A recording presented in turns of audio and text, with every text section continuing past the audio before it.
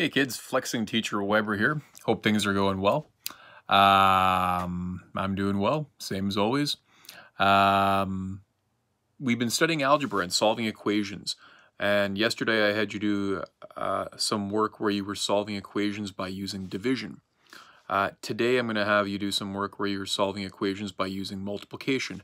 I gave you a bunch of notes in Showbie that have some examples. I'm going to go through a couple of those examples right now just to give you a little more detail. So in those notes, I'm going to flip over. Uh, the first example is uh, the variable x divided by 18 equals negative 2. Now, um, since this is a division question, we always use the opposite operation to solve them.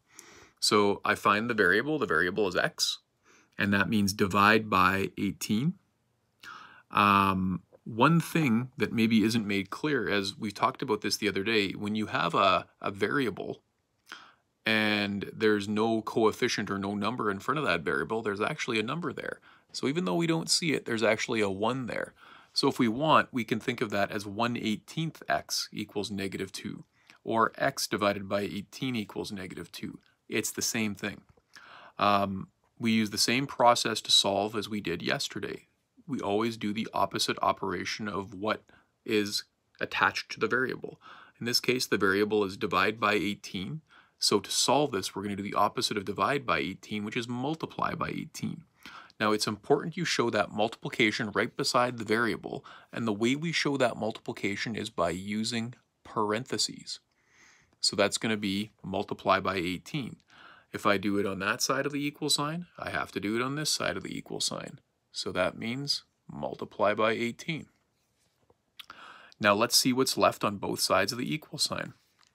On the side with the variable, I have a, a fraction with an 18 on top and an 18 on the bottom.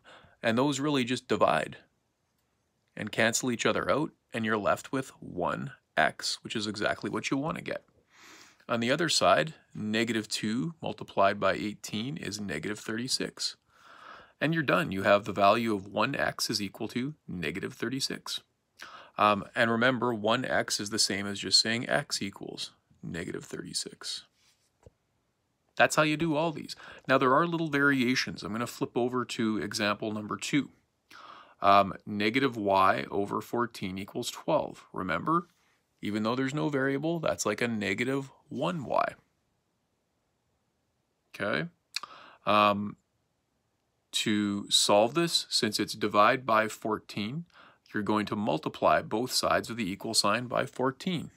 So I'll do times 14 there, and times 14 there. Um, on this side of the equal sign, the 14 and the 14 divide out, and I'm left with negative 1y. On the other side of the equal sign, I have to do 12 times 14. Well, I'm going to break up the 14 into 10 and 4. And I'm going to say 12 times 10 is 120, and 12 times 4 is 48 and together that makes 168. Now I'm not done yet because I only have the value of negative 1y, so now I have to use what I learned yesterday. Since I have negative 1 multiplied by y, I'm going to divide both sides by negative 1, and I'm going to get that uh, y equals negative 168.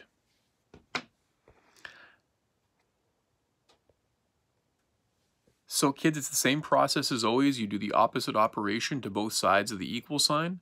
Uh, give this a try on the slow skier assignment. And uh, I think I'm going to add another video with just a couple other examples as well.